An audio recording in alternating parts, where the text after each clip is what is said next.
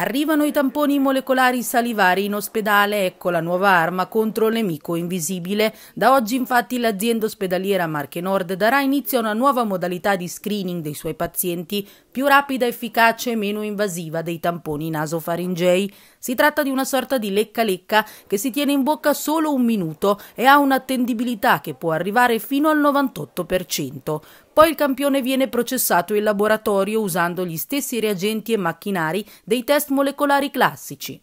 Una novità che da un lato mostra la volontà dell'azienda di non abbassare la guardia rispetto al Covid, dall'altro rappresenta la necessità di procedere con il tracciamento ancora lungo, incalzati dall'imprevedibilità delle varianti, sebbene la vaccinazione stia dando comunque una buona mano per contenere il virus. Cambia solo la tecnica eh, perché il uh, tampone salivare è una sorta di lecca-lecca eh, praticamente e eh, basta aprirlo.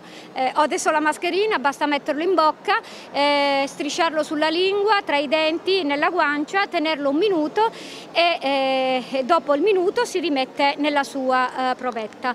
Qual è il vantaggio? Ha un'affidabilità del 98%. Capite bene qual è il vantaggio che è meno invasivo, quindi eh, lo utilizzeremo soprattutto negli screening dei pazienti ricoverati. Indicato quindi per i bambini, è indicato per i disabili, è indicato per gli anziani, è indicato per quei lavoratori che devono sottoporsi a screening ripetutamente.